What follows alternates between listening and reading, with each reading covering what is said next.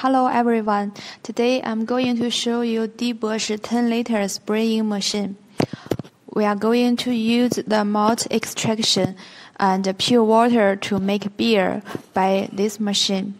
The machine is 10 liters, so we will use uh, 1.5 kg of malt extraction and beer yeast and beer hop the hop is mainly used to give uh, beer flavor and aroma, aroma taste. And 10 liters of pure water. First, uh, we will um, put 10 liter water in the cooking, cooking pot.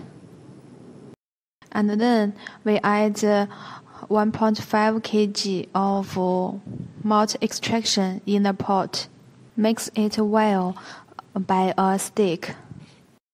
Then we can put the pot under induction cooker or a gas cooker to heat it. By an induction cooker, usually it will take about uh, half uh, an hour uh, to make it boil. After boil, we can add the hops in it.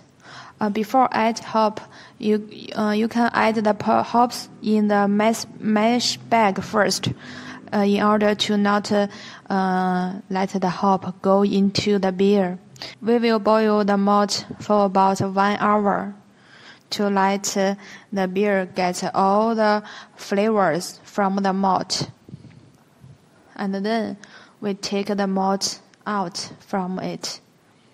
Be careful because it is very hot now.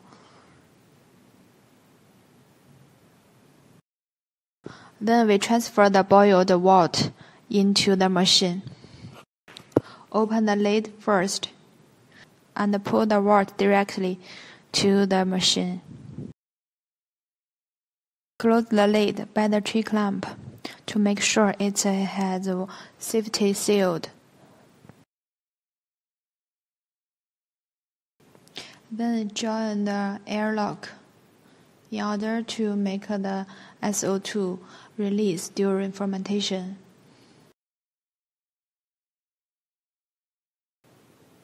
This one is the air release valve. This one is the pressure valve. Turn on the machine. When you first time to use it, you need to change the language from Chinese to English. This one means set and this one means quit. Now we click set to change the language. Number, number one means set and number two means work and number three means language. So we go to number three and click set.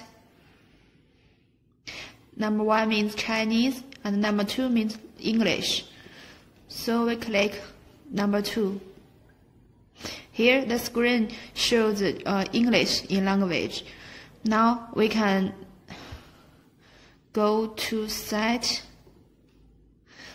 So here, the set temperature for air beer is minus 20 degree, and the temperature now is 76.5 as the water has been boiled just now, so the temperature is high and uh, we can click set here to set the degree you want. If it is okay or if it's not okay. Then we can quit this. After set uh, after setting the temperatures you can quit from this. Then you go to working. Click set. Here you can choose spring. Click. Then now it is start to work. So the running date is zero and the left date is 14 days for air beer. We now the temperature is okay. We open the lid and uh, add the yeast to it.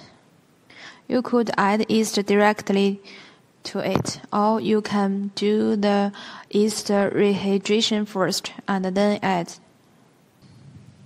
After adding yeast, you need to open the CO2 releasing valve. And you will see the bubble come out at the airlock. Maybe next day when it starts fermentation. Here you see the fermentation has started. The first day, the fermentation is about to finish, so the bubble uh, now is very small. Then we can close the CO2 valve in order to keep some CO2 in the beer. This period is going to Mm, be for four days. So at the eighth days, we can taste the beer. See, the color is very good. Hop flavor is very rich, very delicious, and it is very good for summer. This is all for the process how to, how beer making by the machine. I hope you could like it.